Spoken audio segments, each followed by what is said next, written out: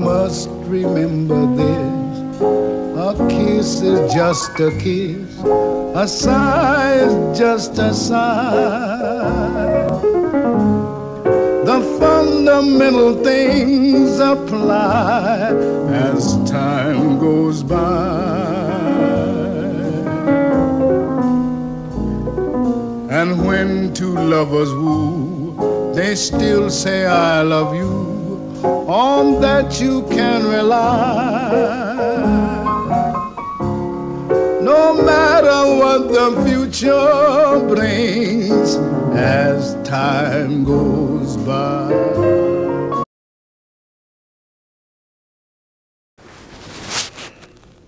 In 1940, I want to go back to that year, is the summer of that year, matter of fact. And Concezio, he goes to visit this family. Now, the father, he knows why Concezio is there because he wants to see his daughter, Lucy. He wants nothing to do with Concezio. He looks at her and said, So, why are you coming here? He said, I've come to see your daughter. He said, Look at you, D'Angelo. You're nobody. You're nothing. What are you doing here? You leave. Go. Oh, and by the way, I've got an axe. So he does find a way to see Lucy, and he said, um, I'm, going to the, I'm going to America. She said, Okay. She's going to flip about it. She didn't care. Or so she said. And he said, Well, don't get married. I'm coming back. And she's like, Oh, look at you. What a big talker you are. You're leaving and you're coming back to marry me, sure. So Lucy is thinking he's either crazed or he's serious. She couldn't make up her mind. Well, on May 8th, the war's over. What does Concezio do? Well, he wants to go home. Who does he ask to go home? His commanding colonel. He said, Can I get a pass to go to Tocco da Casauria? He said, Of course you can. Because everybody at the headquarters company, the clerks and everybody, have heard him talking nonstop from the time he got into the unit until this day about Lucy. And they're thinking, oh my lord, one day he'll marry this woman and get over this. So the colonel sends him on his way with a pass and said, don't be in a rush to come back, but come back when you're supposed to. so he's near Ancona, which is under Rimini. Because remember, they're at Bologna and they're kind of spread everywhere, and so he's kind of fluffing off because really there's nothing to do. So he winds up catching a ride at Milano in a P-38, Lockheed Lightning. Now, Concenzio stood about this tall to me. And he was a small guy, especially when he was young and it was the war. So behind the uh, pilot seat in a P-38, there's the radio equipment area, but there's enough for one person to get back there if they really tried, and they're small enough. So he gets back there in the P-38, they take off, they're flying to Foggia, which, you know, is northern Italy, it's heading the right direction. This is great. During the war, Foggia was the uh, home base for the 15th uh, Air Force, but specifically the 31st uh, Fighter Group. The 31st flew P-51s, escorted um, B-24s and B-17s to Ploesti, etc. So I mean, this, this was a, a, very important hub from Italy during the war for our aviators, and there are a lot of amazing fighter pilots who served there. Uh, one person in particular was uh, Lieutenant Colonel, not at the time, but uh, would retire as Lieutenant Colonel Robert J. Goebel, whose cousins were also in the German Army and Air Force. Don't ask how that happened. His uh, grandparents came over from Germany and um, his other relatives stayed. So the 31st had a great combat record. He's there in Foggia. He decides, okay, I can't make it. It's too late. So I'm going to stay in Foggia for the night. So the next morning, he catches a ride with a colonel driving a jeep. Now, this was unusual for a corporal because he's thinking, oh, wait a minute. Usually, the people who are driving jeeps are privates, corporals, sergeants, and that's about it no officer should ever be driving a Jeep. So he's kind of freaking out by this. So this colonel pulls over and picks him up. and he starts talking to Concezio in Italian. So they're starting their conversation, and he said, Well, isn't it great the war's over? And Concezio's like, Oh, this is great. I'm excited. And so he said, Well, you know, it's amazing that, you know, our two sides got together before the end of the war. And he looks at him and said, Colonel, what do you mean our two sides got together? He said, Don't you see my, you know, my corporal stripes? And don't you see the fact I'm in the 34th Infantry Division? I'm an American. He's like, Oh, I thought they just gave you that uniform because you didn't have anything else. He's like, No. He said, You know, I went through basic at, you know, Camp Blanding. Or Fort, no, Fort Benning, sorry. And he's looking at him like, Oh. So the colonel felt really stupid by this point. So they stopped talking for a few minutes because they're kind of uncomfortable. So finally they pick up the conversation again. Still talking in Italian, goofing off. And so he drops him off. That's right. He drops Coonchy off near Ancona. So at this point he's thinking, how am I going to get back to Tocco da Casauria? Because I don't have a ride right now. Lo and behold, one of his buddies, true story, is driving a deuce and a half. And he's an Italian kid from Tocco, so it's kind of funny. So he's driving a deuce and a half and he says, Concezio, what are you doing here? He's like, well, the same thing you're doing here. Going back to Tocco. He said, yeah, let's go. So they take the truck, go to Tocco. Now, this is where my cousin, it's hilarious because he said, you know, I'm in my Class A uniform. Everybody in town's coming out, and everybody's throwing this big party. He said, you know, he said, I hate to admit it, but I kind of felt like a big shot. It was almost like being Mussolini. He said, we know when he came to a town, he said everybody would pour out all the, you know, all the, you know, wine, all the food, and everything else. And he said, oh, and by the way, you know, everybody would be throwing confetti everywhere, and you know, El Duce was in town. He said, but no, I felt just like El Duce, so I shouldn't say that, but I, it was like that. so then, one of our cousins comes to him. Her name's Camilla. And she said, hey, Concezio, Lucietta's still in town. He said, oh, I'll get to her tomorrow. so the girl he's been dreaming about since 1940, he'll get to her tomorrow. It's kind of cocky. So uh, Concezio sits back, enjoying the wine, enjoying the food, enjoying seeing his friends and family. And the next day, he goes over to see Lucy. So, who should see him but Niccolo, Lucy's father? And he says, Concezio, look at you. He's thinking, look at me? He said, look at you, you're wearing an American uniform. You're a good young man. He's thinking, pardon my language, he, this is what he said. He's like, now you son of a bitch, now I'm a good guy because I'm wearing an American uniform. Italy's in a mess, and you want me to take Lucy the hell out of here. now you want me to marry your daughter. He doesn't say that to him, but he's thinking it. Probably something I would have thought too. So he asks him in Italian, Che fatta l'accetta, which means, where's your axe? And he said, Concezio, you're such a good boy. He said, no, no, no, that was back when you were young. You were too young to get married. He said, look at you now. He said, you've made something of yourself. Thinking, yeah, okay, so I want to see your daughter. So uh, he sees Lucy. He proposes to her. And um, she accepts. So now, what does he got to do? It's like, okay, I'm getting married, so this means I've got to report back to my base. I've got to fill out the appropriate, appropriate paperwork to get her stateside to my mom, and then when I get back home, marry her. so he goes back to his colonel. There, I think they were near Bologna, somewhere around there. Actually, near Milan, sorry. And so at that time, his colonel says, okay, take your time, go get Lucy squared away. They're all excited because they're thinking, finally, he's going to marry this girl. It took forever. So he goes to Livorno, which is a point of disembarkation for Italy, for, for northern Italy. This is where you go out of, out of the country. So he has to get a Red Cross ship.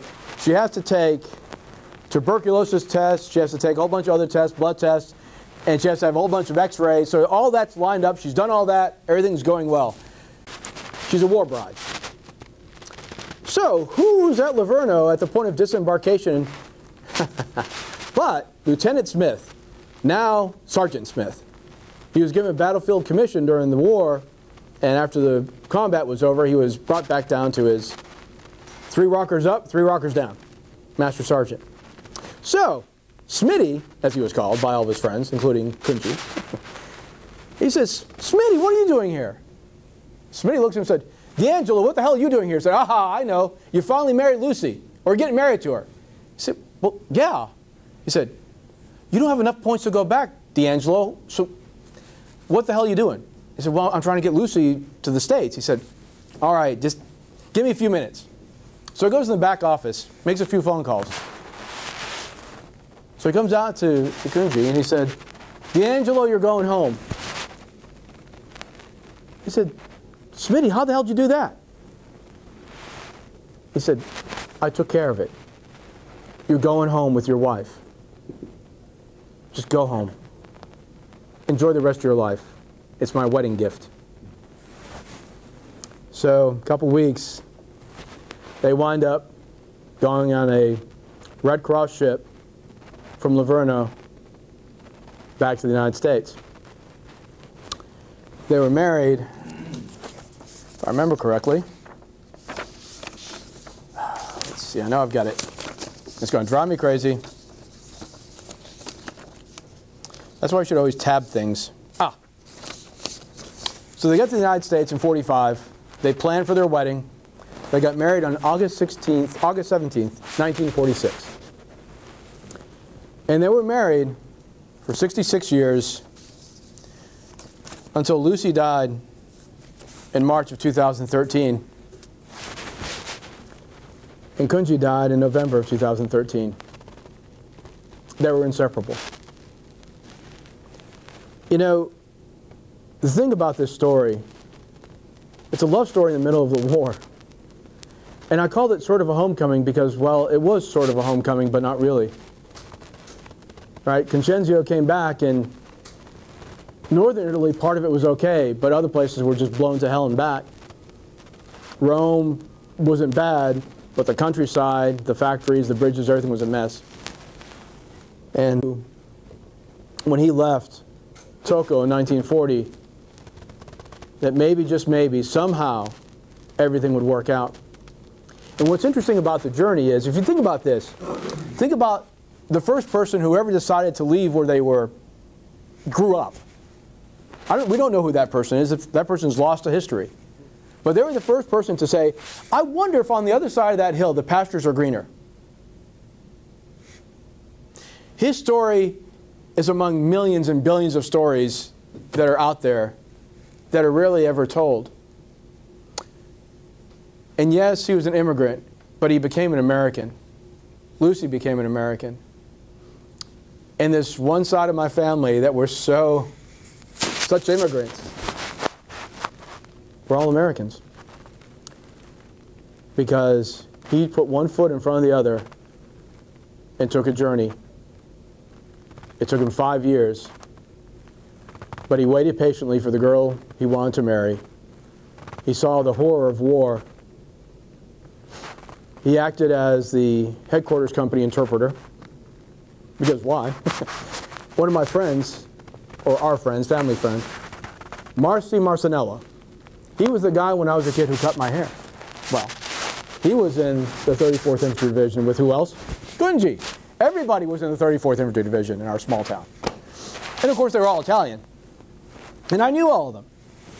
So I couldn't get away with anything as a child, trust me. Because everybody would tell somebody. And it would get back to my grandparents and it would get back to my mom and dad, so you didn't want to do anything. He didn't have his lucky because his translating skills from English to Italian or Italian to English weren't as good as Coonchy's. Coonchy kind of was spared a little bit. I mean, he, he was under fire. He never really talked about it. But um, I thought the love story was a little bit more interesting. Now, there are other things that are interesting too. Here we go. The Red Bulls' claims to fame. First Americans to deploy in Europe in World War II, January 26, 1942. First US, U.S. attack against German forces in the war. Longest combat tour in Europe. Some units served 11, 611 days in combat. Most casualties per capita in World War II. Most defended hills taken in World War II. That's a pretty good combat record. Sleeve insignia for the 34th Infantry Division. The first one is an Italian made insignia. That's pretty scarce. The second one is an English made insignia because they went to England first. They trained in Scotland and Northern Ireland. And then, you know, some of them became Darby's Rangers. As a matter of fact, the last Darby's Ranger died two days ago. This is also an English made patch. And the last one is the standard American made patch. So I will pass these around. Then I will show you something you barely ever see. This is the jacket for an Italian captain. It's the real thing. It's kind of not in perfect shape, but go find these somewhere. It's not that easy. This one, there's a captain in the 34th who always watched out for Coonchy. Now, you see the 88th Division patch and then the 34th. Well, the 34th was a combat unit. The 88th, this is what happened to Coonchy too. When you didn't have enough points to rotate out, you wound up going to the 88th to serve occupation duty in Italy, and then you left with the 88th. Now this one is really rare. first Sleeve insignia for the 34th Infantry Division. The first one is an Italian-made insignia. That's pretty scarce. The second one is an English-made insignia because they went to England first. They trained in Scotland and Northern Ireland. And then, you know, some of them became Darby's Rangers. As a matter of fact, the last Darby's Ranger died two days ago. This is also an English-made patch. And the last one is the standard American-made patch. So I will pass these around. Then I will show you something you barely ever see. This is the jacket for an Italian captain. It's the real thing. It's kind of not in perfect shape, but go find these somewhere. It's not that easy. This one, there's a captain in the 34th who always watched out for Coonchy. Now, you see the 88th Division patch and then the 34th. Well, the 34th was a combat unit. The 88th, this is what happened to Coonchy too. When you didn't have enough points to rotate out, you wound up going to the 88th to serve occupation duty in Italy, and then you left with the 88th. Now this one is really rare, more of the France D-Day, but it's a 5th Ranger Battalion M41 jacket. So these were the early jackets they had, then they went to the M43s, like this one. That is something you very rarely see outside of a museum. That's one of my prized pieces in my collection. Now, M1 helmet. And that's actually an original wartime helmet. Everything is original. There was a doctor I met. He was one of the Hopkinses from Johns Hopkins. He was actually attached to Merrill's Marauders. He said this design was the worst helmet known to man from a medical perspective. He said it didn't protect your ears or the nape of your neck. And it wasn't as heavy as the German helmets. Now, for convenience, it had a two-part, you know, it's two-piece, had the inner pressurized liner. You could take that out, and you can shave in here, you could wash in here, and even cook in here. And guys did it. So it was a useful thing, but it didn't really offer you much protection. So in 1983, we adopted the Kevlar helmet, which looks an awful lot like the M35 Wehrmacht helmet and the reason why the, the Kevlar helmet didn't come into acceptance until 1983 was because the World War II veterans who were still in the service sure as hell didn't want to see American troops wearing a German-style helmet. True story. Now this is an M1939 Italian helmet. with the camo cover on it, and the one-piece head, the one-piece helmet liner, which is like the German helmet liner that were in the M35, M40, and M44 helmets. M42, sorry. So yes, my wife thinks I'm crazy. I have too much of a collection, and if you all want to see this relic, feel free. Nothing would be complete without pictures.